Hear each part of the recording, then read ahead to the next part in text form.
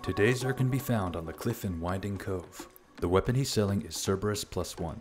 It's a powerful weapon but has erratic recoil and damage fall off. It can be fun but very unforgiving if you're not accurate. Grab it if you don't have it yet.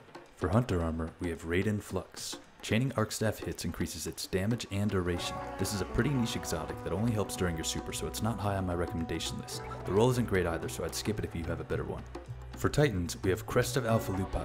Your super will create an additional orb and casting your barricade heals your fire team for a small amount. Its benefits are minimal and easily outclassed by other exotics. Grab it if you need it for collections, otherwise it's not worth the shards. Lastly for Warlocks we have Nezarec Sin with one hell of a god roll. Kills with void damage grant increased ability regen, including super energy. It works on non-void subclasses as well, but with less of a bonus. This is a top tier exotic for PvE and PvP, and the roll Xur has is amazing, so be sure to pick this up ASAP. Catch you later, Guardians.